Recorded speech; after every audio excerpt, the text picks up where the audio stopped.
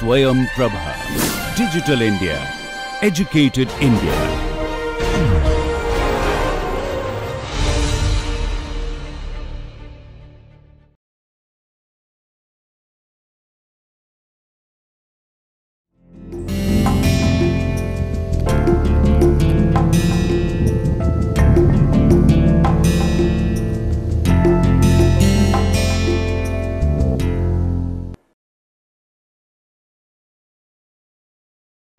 Hello dear learners, I am Dr. Himani Singh working as an assistant professor in Institute of Business Management, GLA University, Mathura.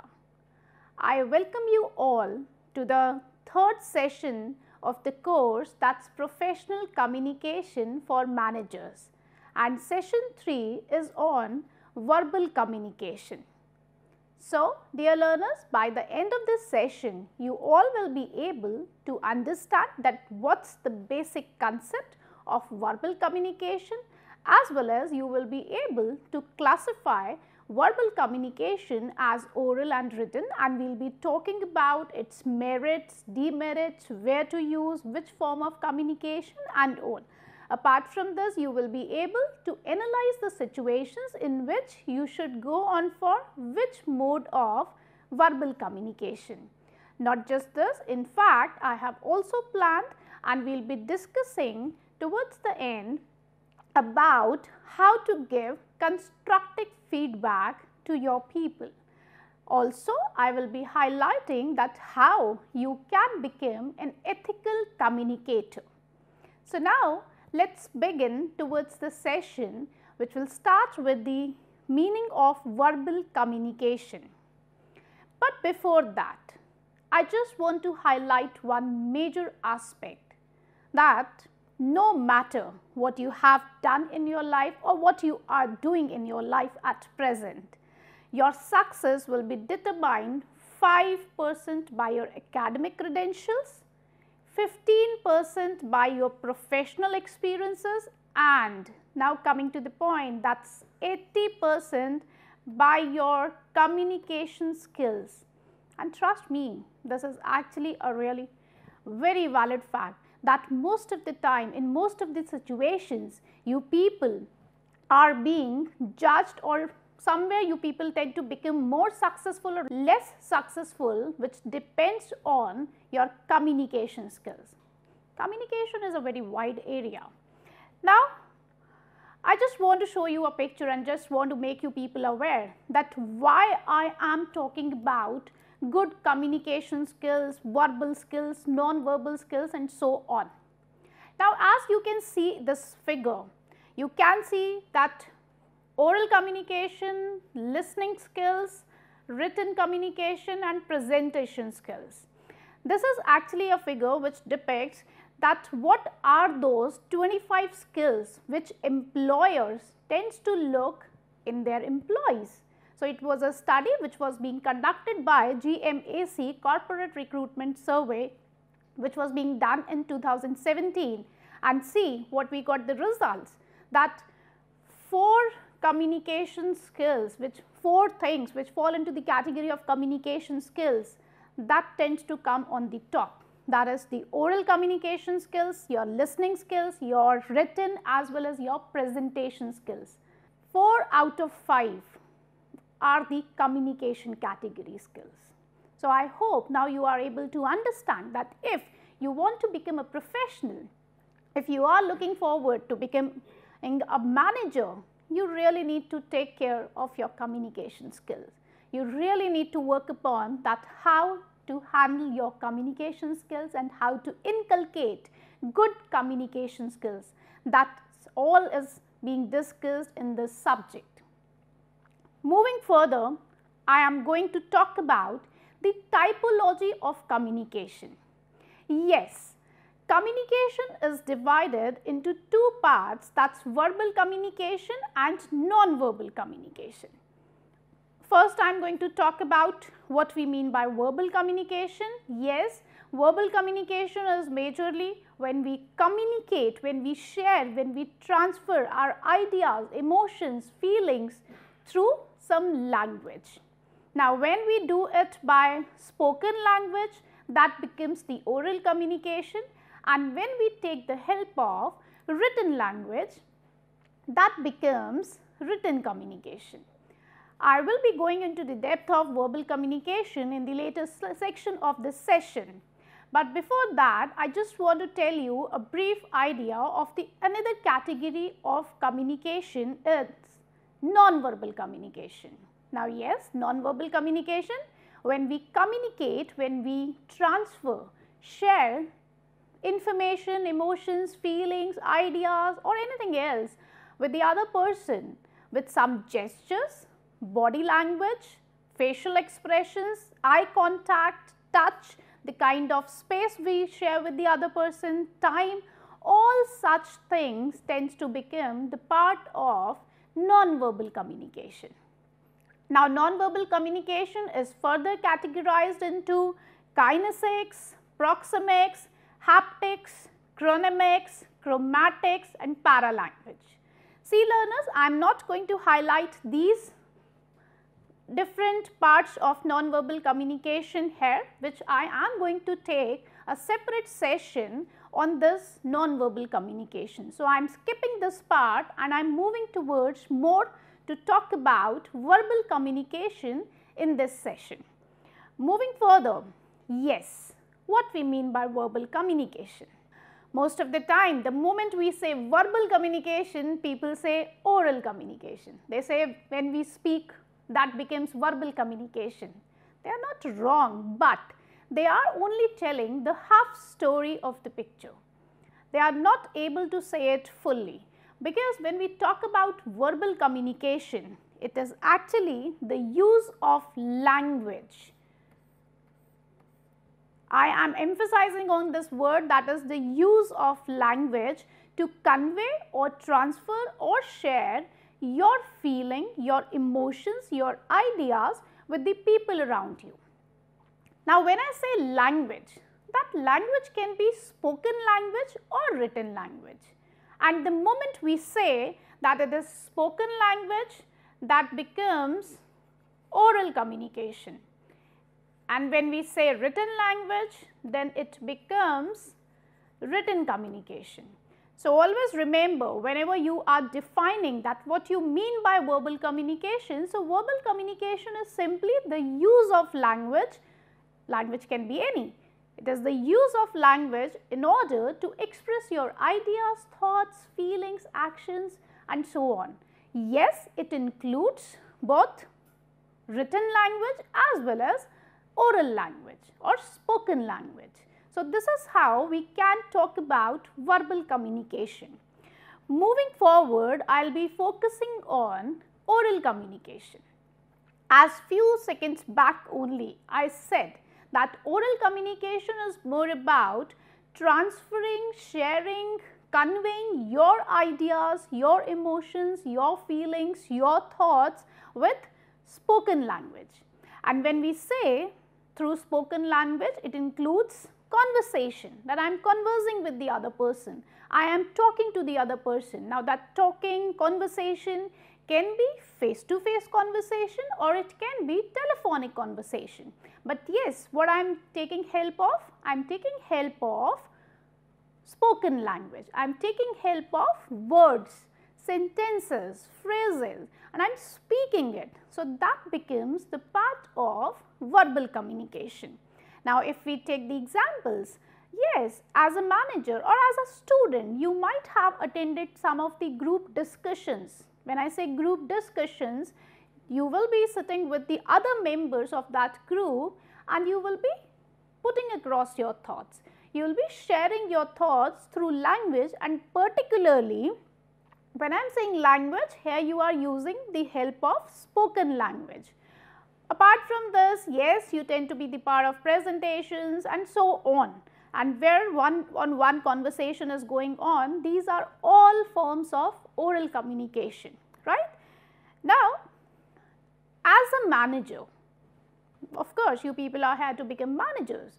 As a manager, you are going to be in different situations in different scenarios wherein you really need to have good oral communication skills.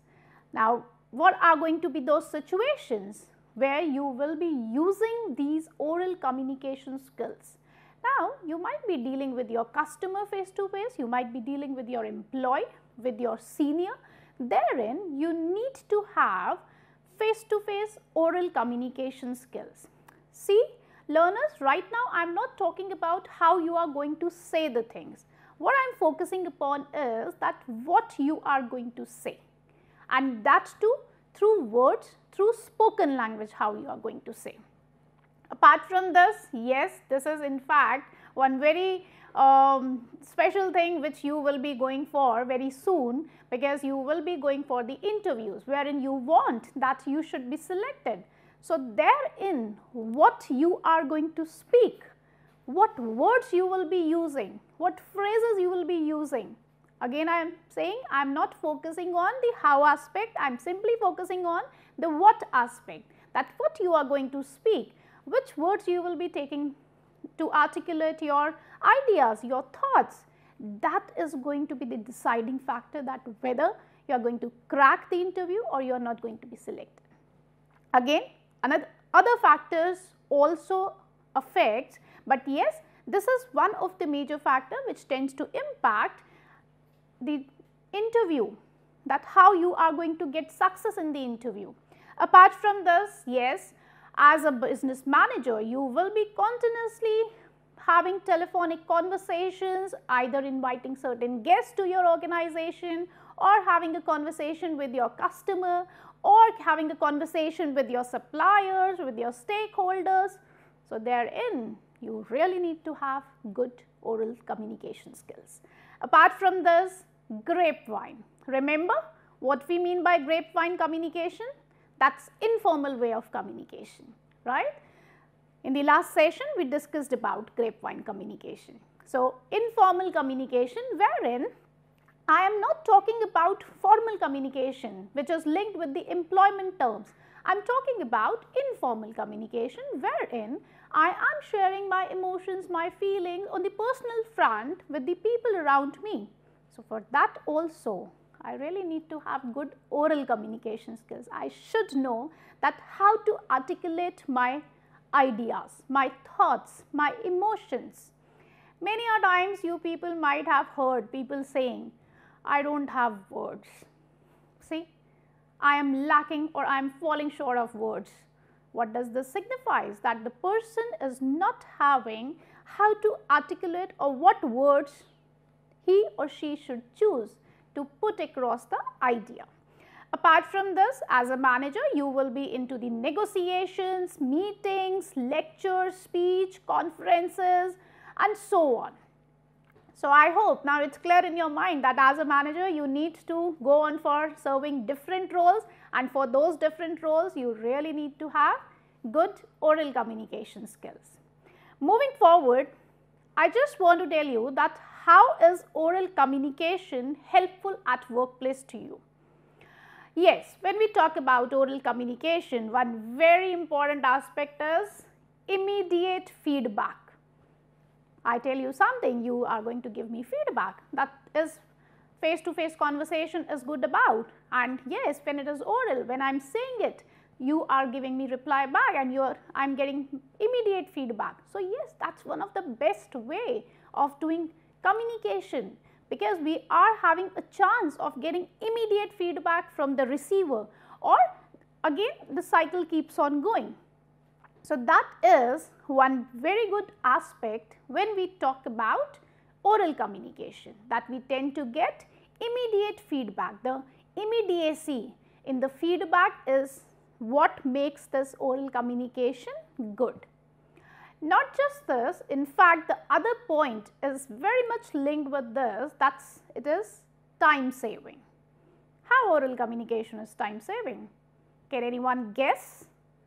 Yes, it is actually time saving because somewhere or the other I am not going into the depth of bringing papers, writing the letters or spending my time in first articulating the thoughts, bringing it on the paper and then sending that paper to some other person and so on. It's going to be so much of time consuming. It's a good idea that I'll just pick up a call, pick up my telephone and I'll just make a call to that person and I'll be having a conversation.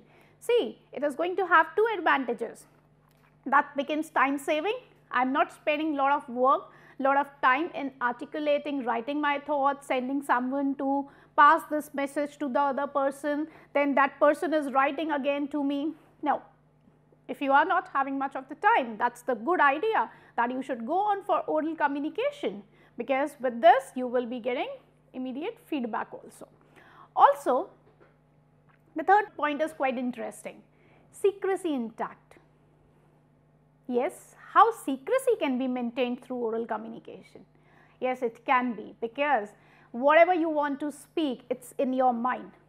You have not put it somewhere else. It is in your mind and until and unless it is not coming out of your mouth that is secret that is within you that is with you only no one can have uh, power over you and that person can take the words from your mouth no not at all it is you only and you have stored the information in your mind and until and unless you are not going to speak you are not going to bring it out how it is going to come out so yes that is one one very good point of oral communication that secrecy is maintained.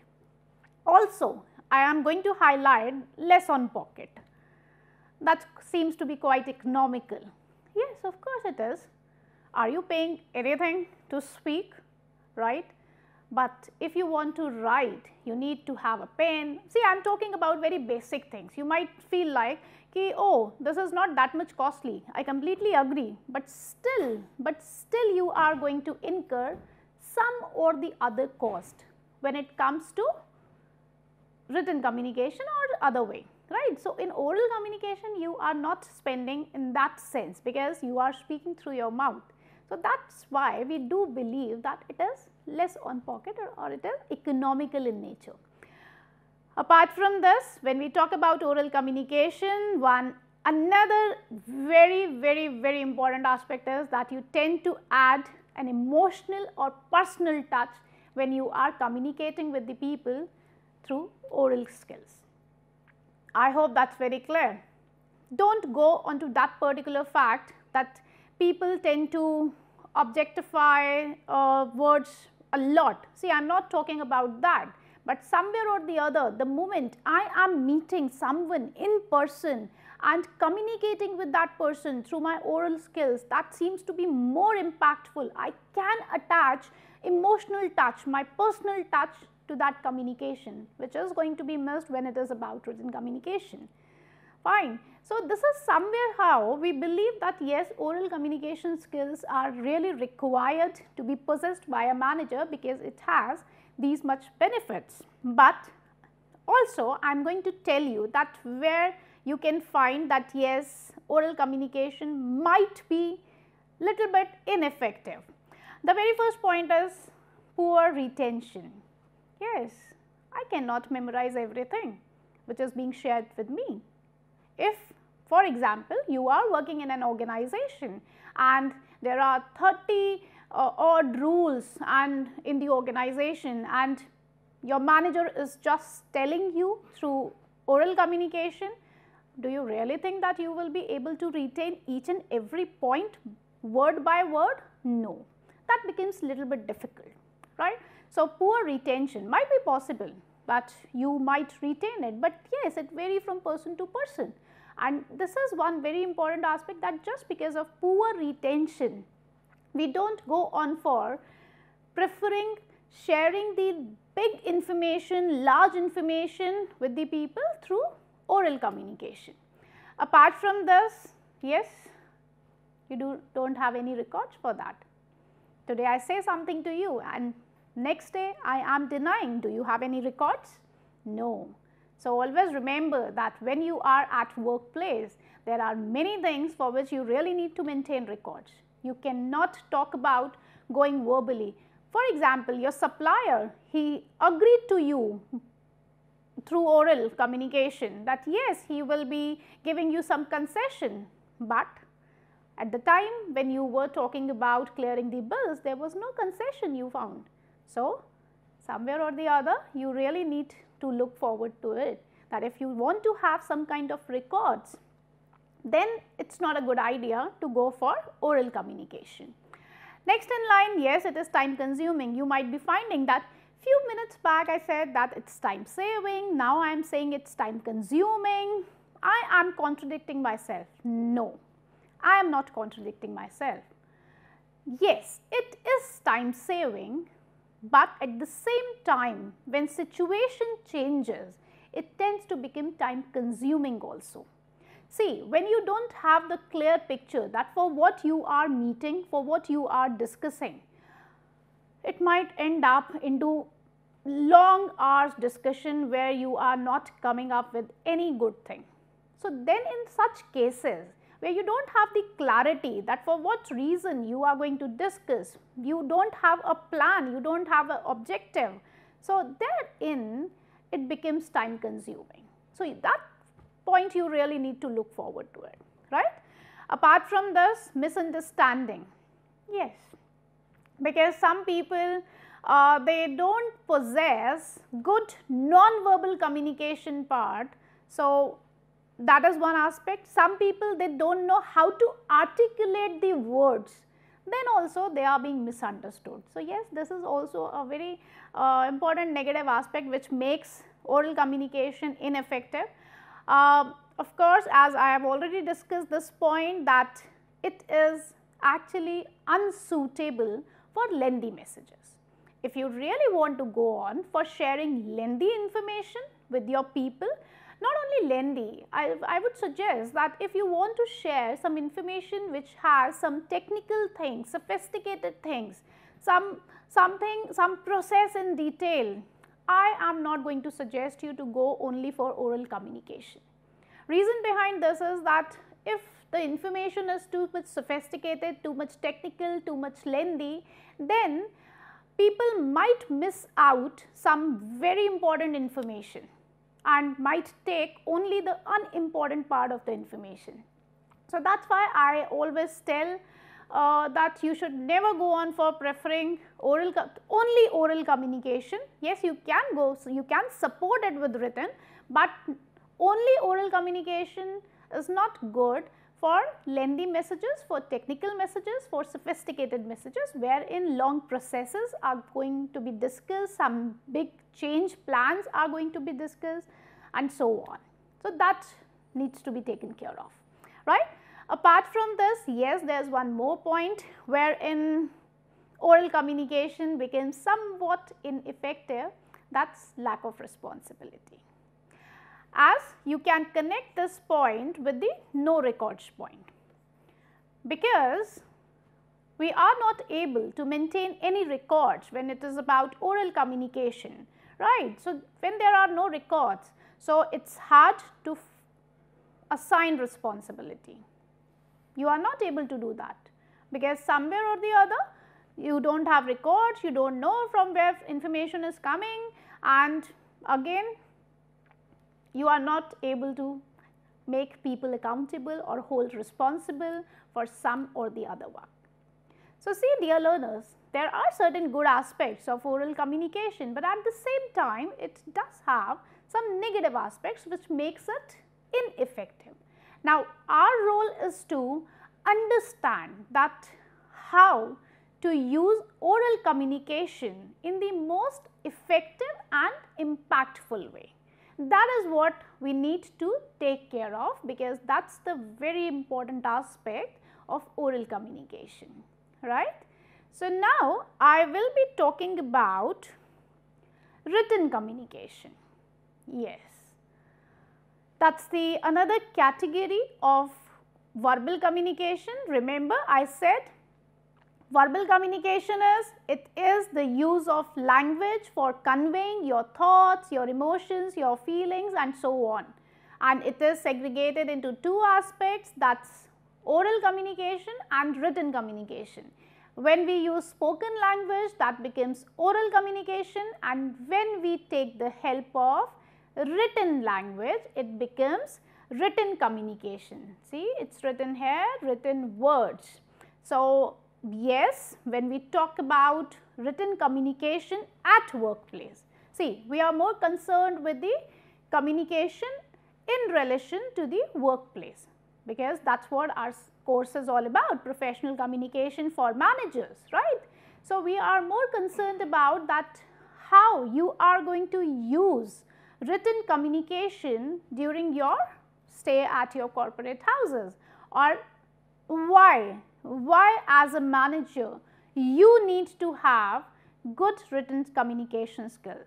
Remember that survey which I discussed in the opening of this session, GMAC survey which was being done on uh, in uh, 2017.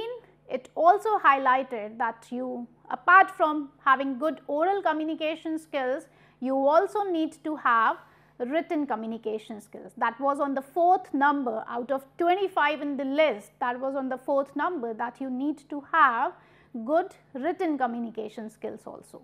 So, equally it is required and why it is required? Because as a manager you will be uh, in the role wherein you are going to write the memorandums or commonly we call them as memos which used to have some very important specific information about the business and you would like to share that brief information, that brief message with your people. Now, when you need to make it brief, you really need to take care that what words, what sentences, how you are going to articulate the things in the written form. So, memorandums you are going to prepare, you will be in the capacity of writing business letters wherein you will be either writing a sales letter which is reaching to the, your customers, highlighting the benefits of the products or the services which you want to share or you will be writing letters to your seniors. It can be a resignation letter, sorry I am starting with a negative term. It can be a resignation letter, it can be a thank you letter, it can be a, it can be any letter, right? Uh, some complaining letter. And also might be you are into the capacity wherein you need to write letters to your competitors, you are required to write letters to your suppliers, to your stakeholders, to your investors. And so therein you really need to know that how and what words you will be writing, in which form you will be writing that is going to create a good impact on the receiver end, fine.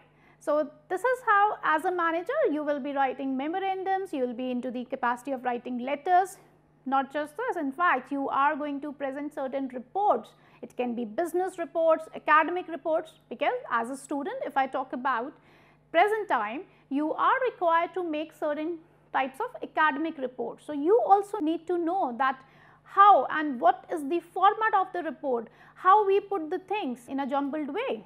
Similarly, when you will be going in the corporate houses, you really need to understand that how to put the things across, how to write the things, fine. Also, you will be preparing notices for meetings, minutes of the meetings, some kind of circulars will be there, also manuals or handbooks, company handbooks you need to prepare. So, see my point of conversation out here to tell all these roles is that you really need to understand that you should be good at writing as well. Completely uh, understood you are good at speaking, but at the same time you really are going to perform certain roles which requires brilliant writing skills, right.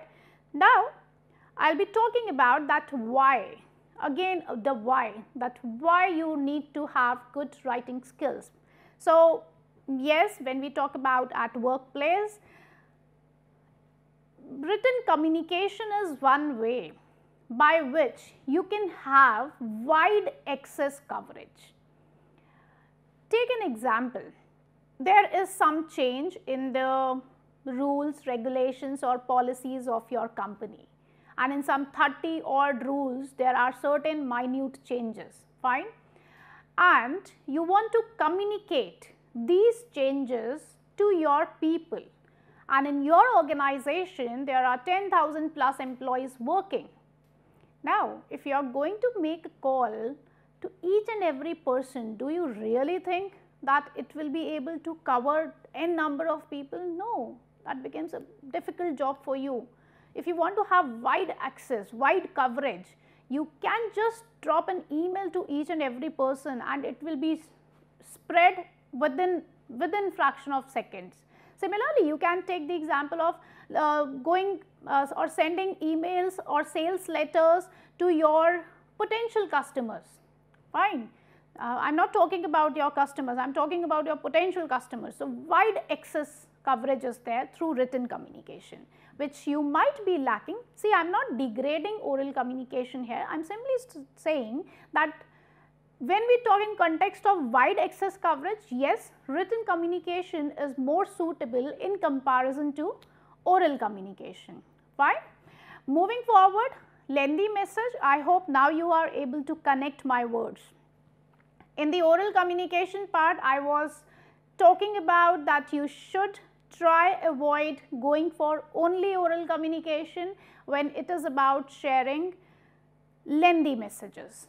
But yes, Written communication is a nice idea when it is about sharing large information, lengthy information with your people because that is going to help them in retaining the information more in comparison to the oral communication skills.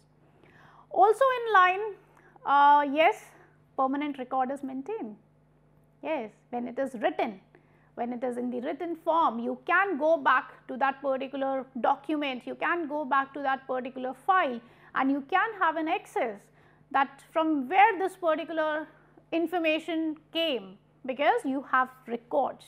If it is written, it is recorded, but as I said when it is oral communication things cannot be recorded, but here that is the advantage that yes you can record the things. So, that is a wonderful idea. If you really want to record things, you need to go on for written communication. If some of your manager is telling you that in coming month he or she is going to promote you, better take in, in written form. Uh, I, I understand that that becomes a bit difficult for asking these kind of things, but uh, somewhere or the other you really need to have all such things in the written form otherwise you might not be having any record or uh, how you will be going and asking, oh you told me that yes that needs to be done, but now you are not doing it, there is no record, why should I do? So, yes that is one thing. For permanent record you go, should go for written communication. And just because I said permanent record it is very much connected with the other point that is the legal evidence. When it is in the written form we do have legal evidence right in fact, when we talk about the rules, regulations or the reports, the auditor's report, all such things, they are actually the things which can be used for certain legal purposes as well. So, yes, when it is about written communication, that helps us in having certain legal evidences with the company regarding the employment of the people, of uh, different things around them, right. Of course, linked with the employment only. Apart from this, yes, when things are in the written form, you can fix responsibility. For example, if there are 4 people in a team and I have very clearly mentioned that A person needs to look after this, B person needs to look after this and so on, I can fix the responsibility. Now, no more I am in confusion or I am in ambiguous situation that who was responsible for which work. I can go back to that document, I can see that yes, which person was being assigned what work. I can go on for making them accountable, right. Yes, it is more accurate way of communication. See, when we, when we talk about written communication, uh, we look forward and we become more conscious while writing the facts and the figures. When it is oral communication, people tend to manipulate, but when it is going to be written communication, they avoid manipulation. Research says they avoid manipulation because they know that they can be caught because it is going to be recorded. So, that is why we believe that written communication is more accurate form of communication, right. So, these are some of the points which makes written communication more effective, more impactful over oral communication. Now, moving forward, I will be talking about the demerits of written communication that why uh, written communication should be avoided and, and, and in which situations it is not good. Yes, it is time consuming. I hope now you can relate. Time consuming, why time consuming? First I am drafting the message, then I am sending that message, then the receiver is receiving the message. I do not know at what time he or she is going to receive. Then that person will be writing. So, a lot of time is being consumed. I just wanted to share one simple information that I am on leave today for example, that is going to take n number of days because first I will be writing, I will be sending, might be possible he is not in the office or he is not available. So, he will not be able to see or he might forget to read that particular document, then he will be sending a reply back to me and if that reply is not positive, then again I will be writing to him, lot of time is being consumed. Better I should give a call or I should knock on his uh, cabin directly and have a conversation because that was a very simple thing to do. So, yes it is time consuming although you need to know that in which situations it can be good as well. Costly, yes cost is being incurred somewhat cost is there because technology cost whatever cost you say that technology cost, paper cost, pen cost, eraser cost and so on that much cost is being incurred. When something is written, so yes it can be shared with anyone around you. So, lack of secrecy is one point wherein we believe that uh, written communication certain times have certain loopholes. Apart from that as I said time consuming, so you can relate the point delayed feedback with time consuming I will tell you how. Delayed feedback is that as I said I send the notice, I send the message in the written form to the person then whenever he will be receiving he is not at the desk or he forgot to um, somewhere uh, read that particular message. So, delayed feedback I am getting and then he is denying me back then again. So, see it is delayed feedback I am not able to get immediate feedback. So, that is one very important aspect when it comes to written communication and which makes it somewhat ineffective over oral communication. Apart from this impersonal, yes, somewhere or the other when we talk about written communication, it is somewhat impersonal in nature because therein you are not there, right and uh, you are not able to express your words through your gestures, through your facial expressions, through your eye contact. So, that is why it becomes a little bit impersonal in nature. Also when we talk about the demerits, rigidity, it is good also, it is bad also. Bad just because, because uh, certain times you really need to have somewhat flexibility, but if a rule is in the written form that it should not be done, then you cannot change it. So, that is why we believe that it is somewhat rigid in nature, it cannot be changed easily. So, dear learners, I hope you are able to understand that how oral communication is different from written communication. And also one important aspect which most of the time people tend to commit this error that they believe that verbal communication is oral communication only. So, no it is not that verbal communication is oral communication as well as written communication. Now moving forward, I will be talking about that what are the factors which impact your choice that which method of communication whether oral or written you are going to select. So, yes there are certain factors because as in just now we discussed about the merits and the demerits, where oral communication is good, where it is not good, where written is good. So, if I talk about that both the things that is oral as well as written they are good into certain aspects, they are not effective into certain aspects. So, as a manager you need to take a call that in which situation, which method you will be taking care of. So, the very first factor is about speed.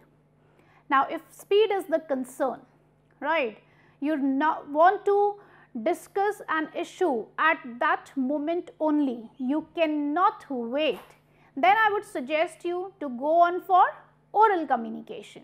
Because that something something very urgent uh, you need to discuss. It cannot wait. So if you might be writing in the written form and sending that information the person the receiver might not be receiving it on time might not be responding it on time. It can be anything. So yes if you want to go on for speed it should be oral communication not the written one. But now think from the other perspective in the speed only I am talking about. You want to cover or you want to share a piece of information with thousands of people, right? And here if you are going to share that information with thousands of people and you want that information should be shared immediately. So, you need to think of that which mode you will be going for. It can be oral, right? You if you are taking television, medium or something like that, widespread coverage kind of thing or it can be an email which is sent to the people who are involved with that information. That is why I am saying as per the situation you need to use your cognition that which method is going to be good, right. I have told you the two different stories. If you want some accurate information to be shared, proper facts, figures, all the data intact, I am going to suggest you to go for written communication because as we discussed that written communication is more accurate because people while drafting a written message they are more careful, they are more conscious because they know that it is going to be recorded. So, if you want to go on for more accurate information, I am going to suggest you to go for written communication, right.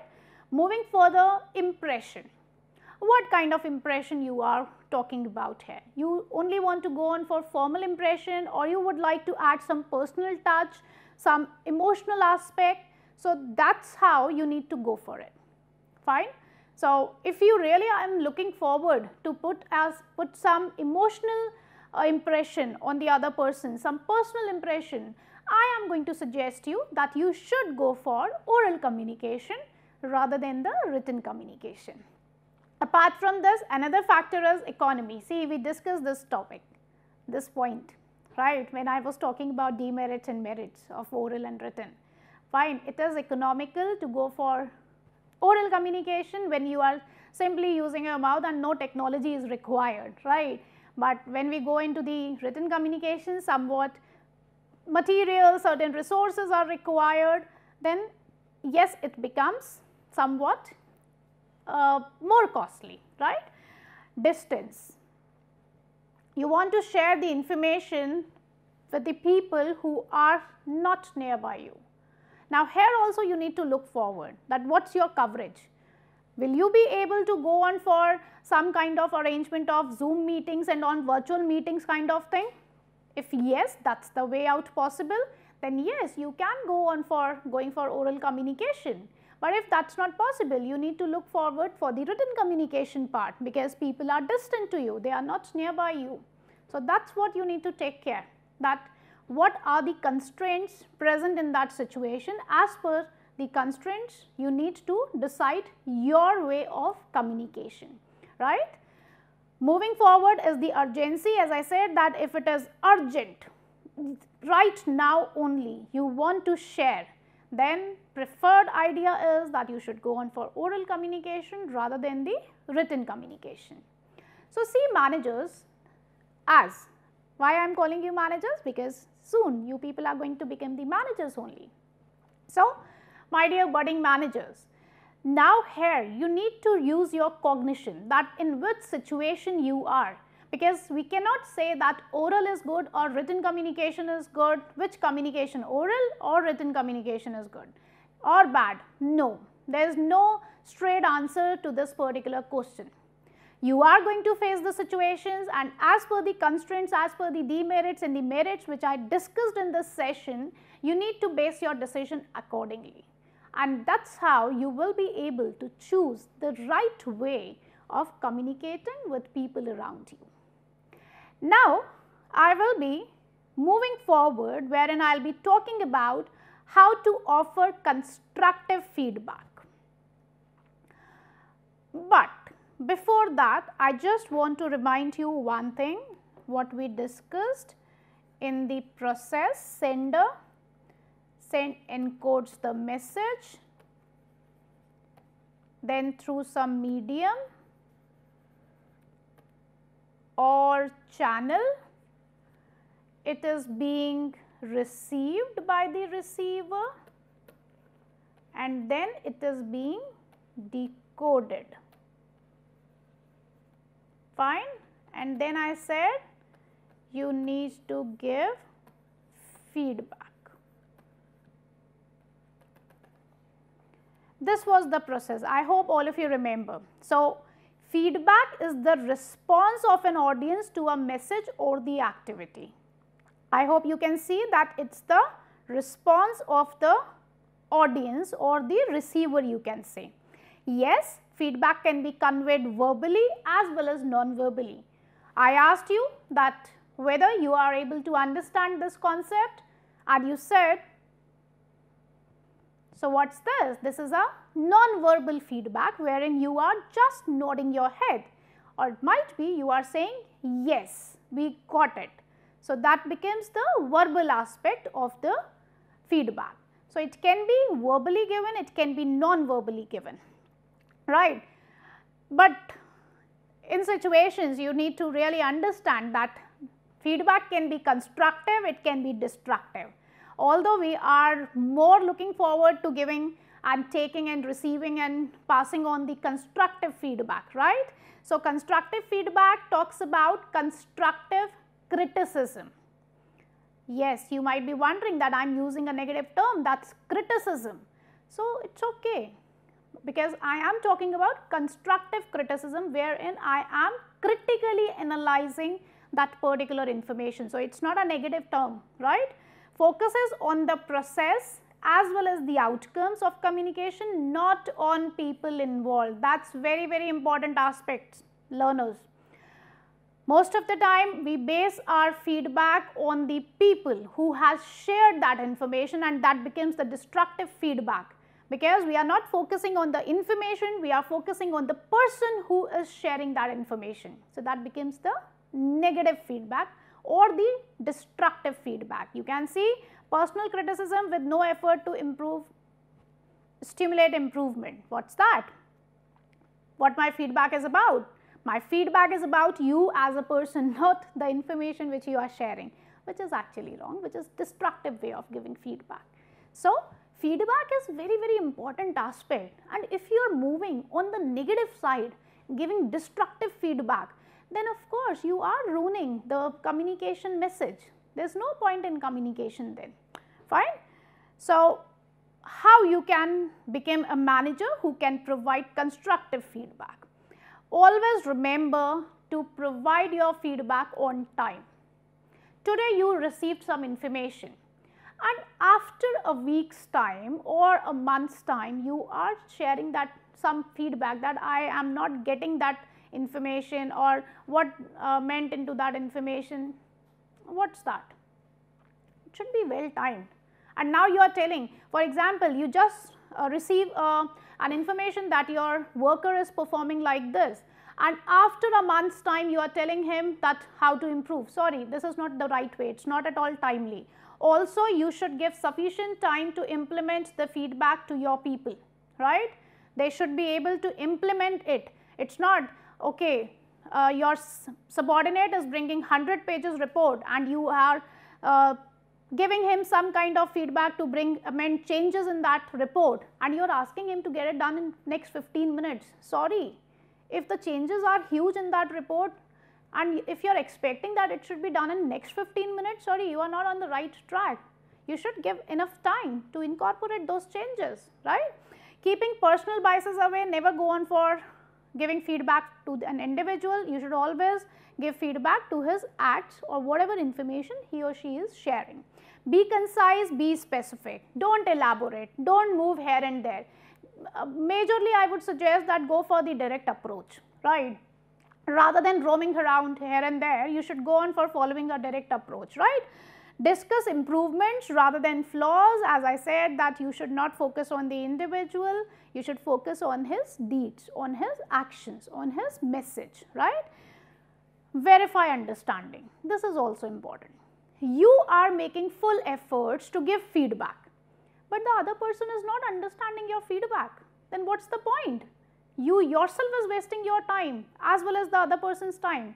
So, always remember to verify that the other person is getting the feedback or not. Is he able to understand your feedback? Is he able to incorporate the things which you want to? So, that is how you should go on for. And yes, you should always bear the right attitude. Right attitude is about having appropriate gesture for sorting out the things. So, this is how you can provide constructive feedback to your people, right.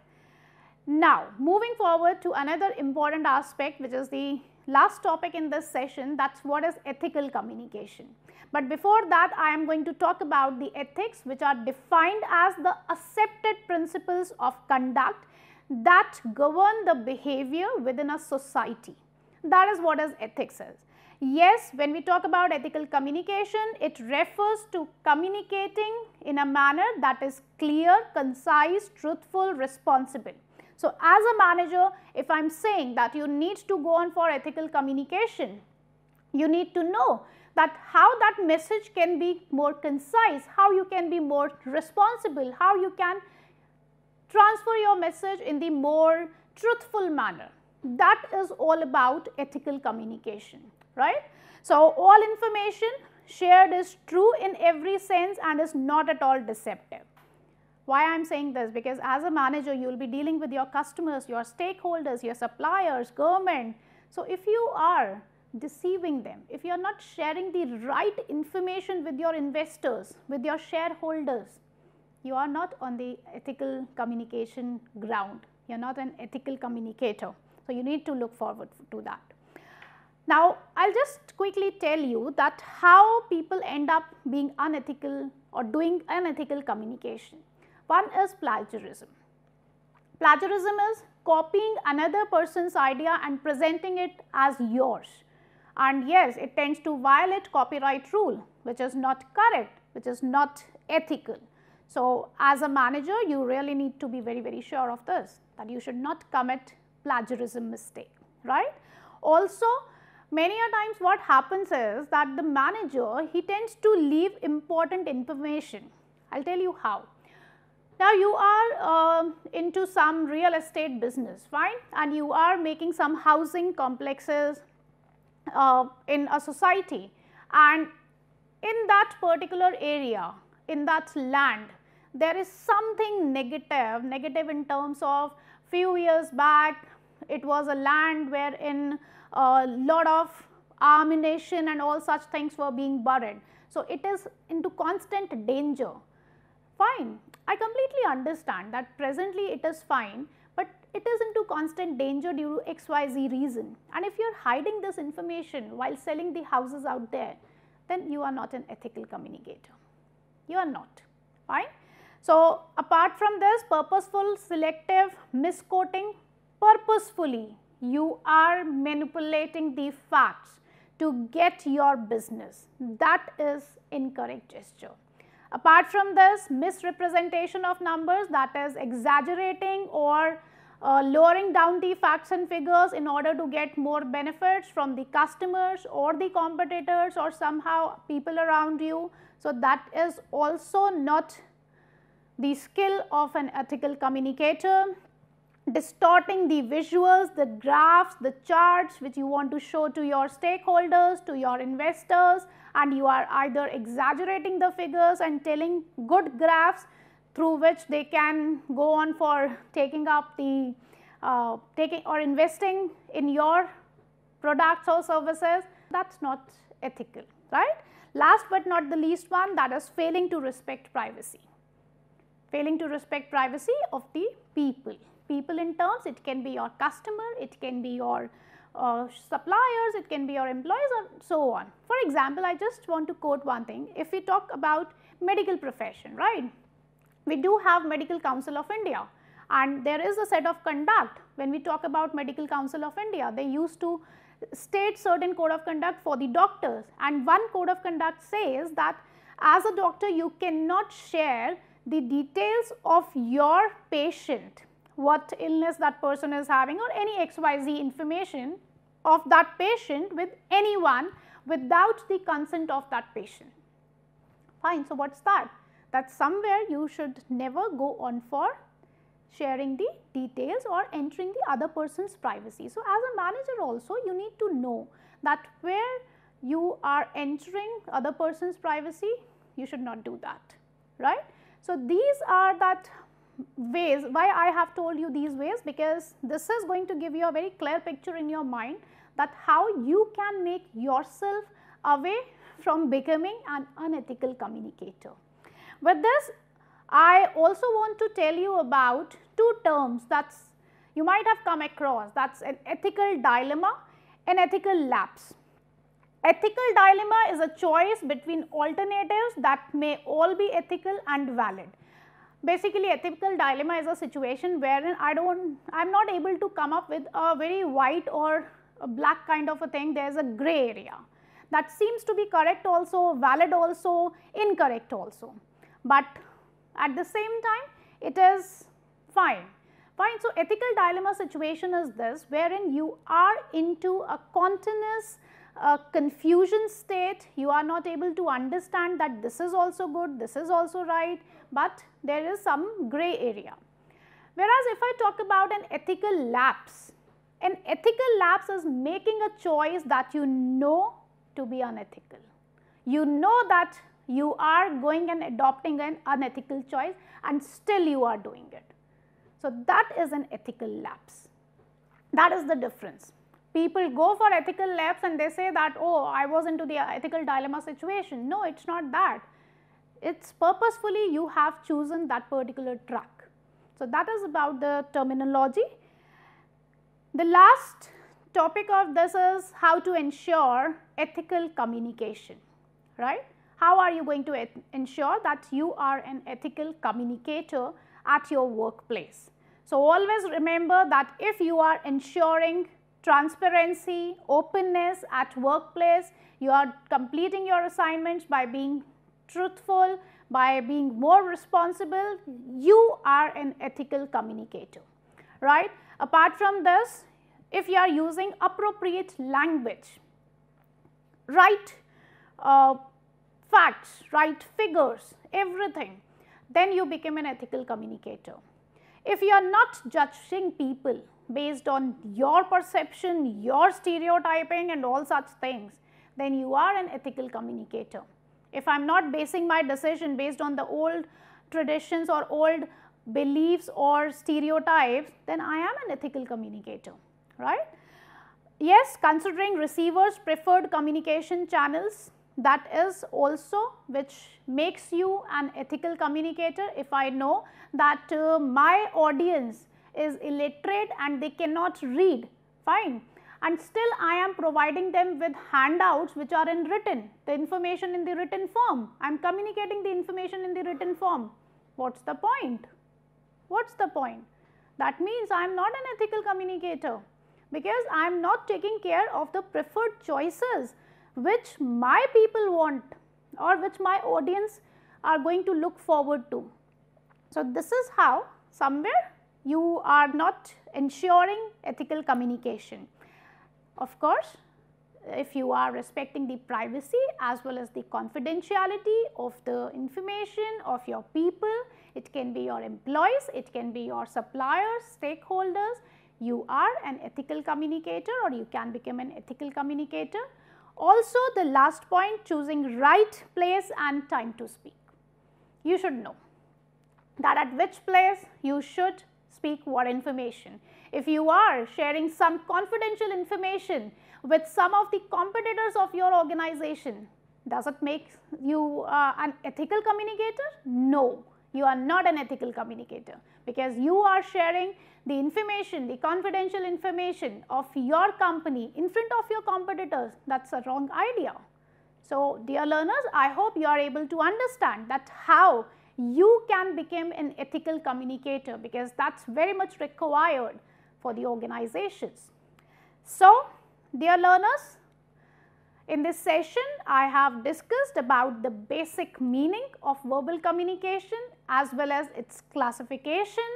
Also, I discussed about that in which situations you can go on for taking up oral communication or written communication. Towards the end, I highlighted that how you can give constructive feedback because feedback is one very, very, very important aspect of the communication process. Also, how to become ethical communicator. I hope you are going to instill all these strategies which I discussed to become an ethical communicator in you as a manager and as a manager you will be the most ethical communicator at your workplace. Thank you and happy learning.